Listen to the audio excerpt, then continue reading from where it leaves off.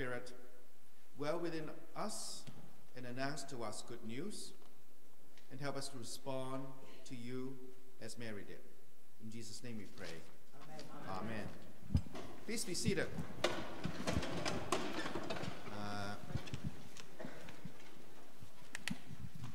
well, can you hear me? Pretty good, all right? Now, this is how it would work. Uh, I'm going to do a Bible study, and there are three parts to it. The first part is uh, what it's the what questions, and it's really easy. So you don't get started that way, we'd be in trouble. Okay, so it's the kind of when, where, what happened, uh, how, the kind of questions. And the second question, the second bit of question is interpretation. What does it all mean? And that it's a little bit, you know, I'll, I'll a little bit of silence when you're thinking about that. And the third part is what it means. Okay. So uh, yell out the uh, the answers, and uh, it'll be really uh, quickly. My experience of doing these kind of stuff, and I started doing this in Coldwater, Bounty, where these folks are from, uh, and uh, time just flies. And then people would say, "Wow, that was that was like it's over already." And the next week they'll say, "Well, last time I was in church for an hour and a half, so I'm not going to come back yet." I don't want to do that. Okay.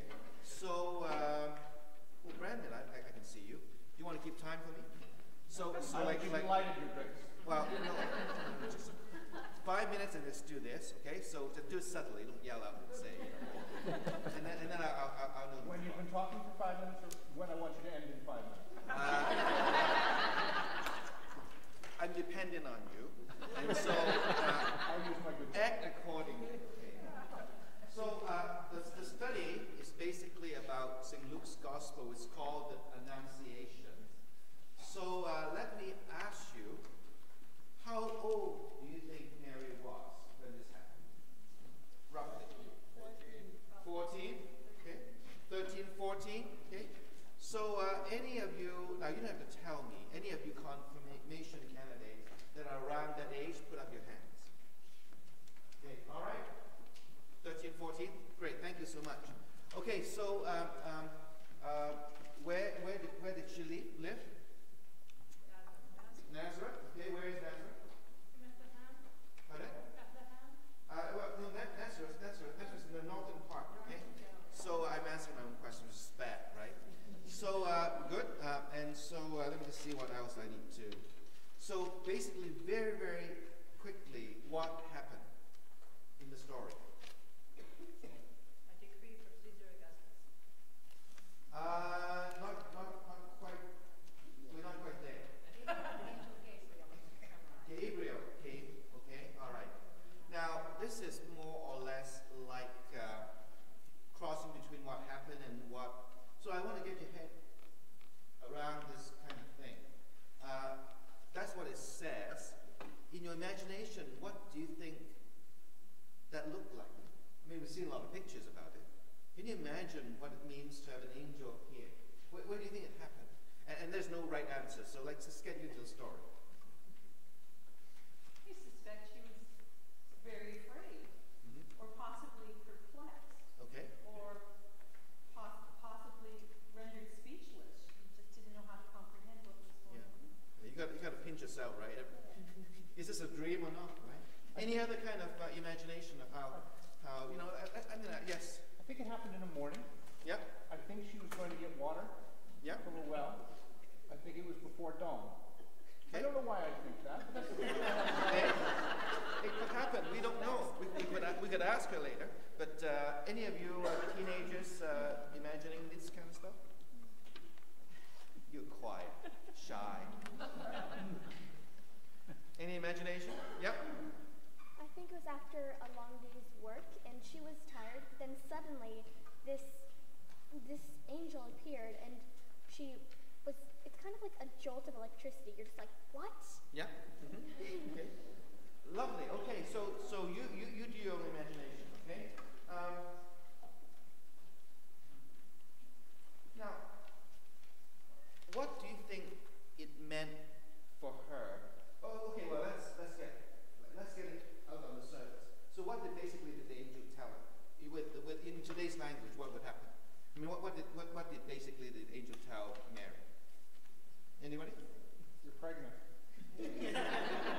da-da, surprise, surprise, you're pregnant, okay? All right, and, uh, okay, let, let's go with that one. Um,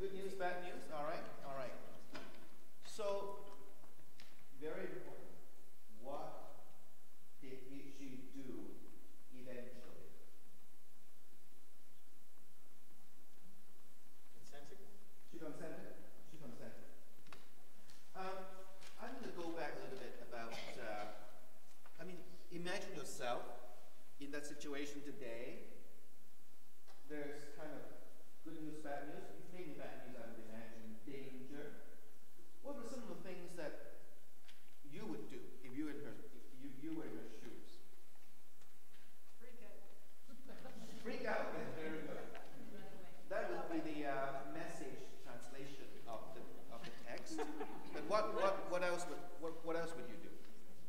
I mean, what would you be you would run away?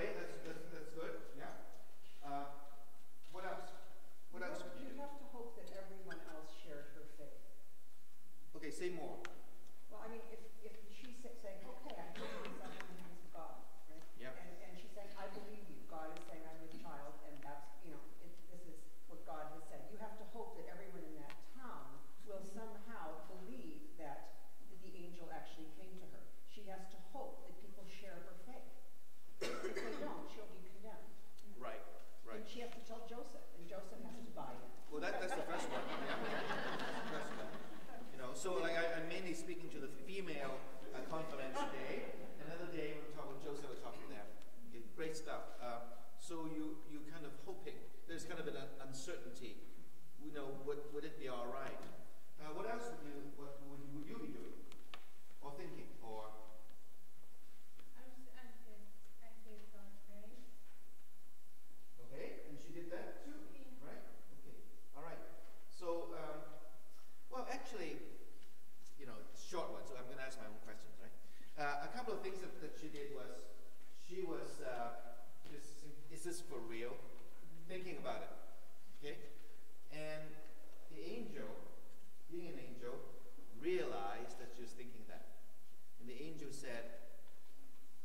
if you don't be afraid.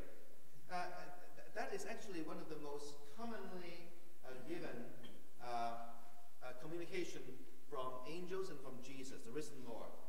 Do not be afraid.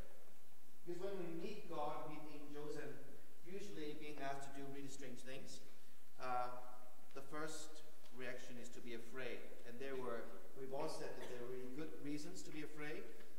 Um, afraid. What else did the angel say? Yeah, the, the, the text is right in front of you. You can, you can read it. Yes, Trent. Didn't Mary ask how this could all be, and then the, the angel responded something to, the power of the Most High. Yeah. So the, the mechanics. So so is this for real? How did this happen? Right. And the angel kind of explained sort of what the me- mechanics would be, which is not really an explanation. Basically, trust me, God can make this happen. Right. Um, but then there's another kind of uh, thing that Mary would be thinking about. How can I be sure that this is really an angel, and it's really from God, and I'm not hallucinating. Okay? So maybe yes. Well, the angel points out that God's already done an impossible thing with her elderly cousin, Elizabeth. That if God can do this impossible thing, why not this other impossible thing? Because Mary clearly knew about the first. So, Uh, no, actually, Mary didn't know about the first, so Fair enough. that's why that's why the angel said, "Don't just trust I me. Go find out. Go find out." Right? So Mary went and found out. Okay. Now that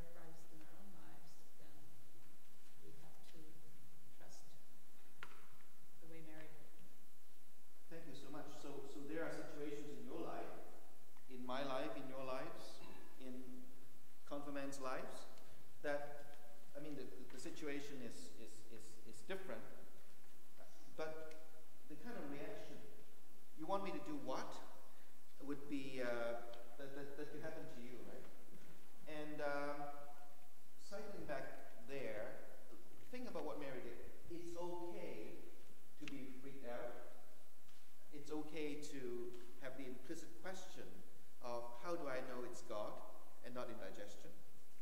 It's quite all right. It's quite all right to ask those questions.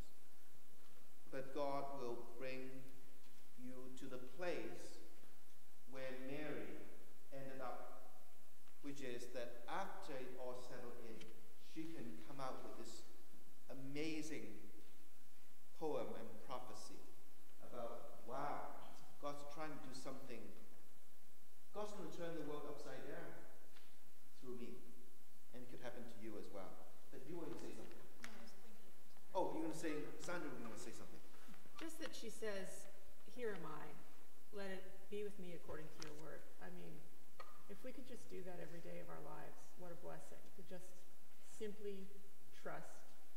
And she has fear as well, but just simply trust that it will be okay. God will take care of me. Not if this and if that just will happen. Right. It's just just unbelievable thing, right, right. I, I a whole sermon when I left St. Timothy on one word, unless. And so uh, we, we, we put conditions on God. You know, I'll do this. You know, I won't do this unless you do this, and so on. So, so I, I take that, uh, but, but I also want to own the fact that uh, um, saying yes is, is, is, is not easy saying yes involves struggle. And apparently the angel gets all of that. But in the end, we get to yes. I want to share two insights, and then I will sit down. The first has to do with um, the idea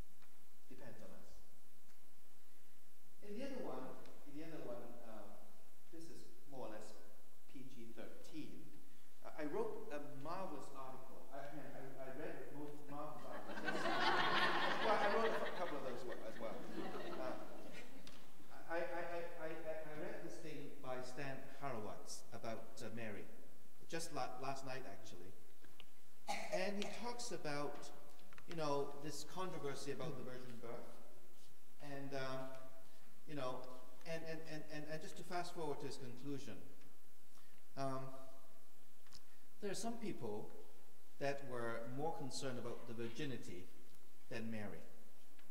And that is to say that, you know, it's, it's the morality that's the most important thing. It could be anybody. Uh, that's not what the tradition says. The tradition says that it's not anybody, but it takes that kind of a person, this, in my view, feisty, honest, insightful young woman to say yes. Yes. And someone who had a relationship with God. And someone who has a relationship with God. That's right. That's right. So, so um, um, it, it's not just anybody. And to to sort of patch in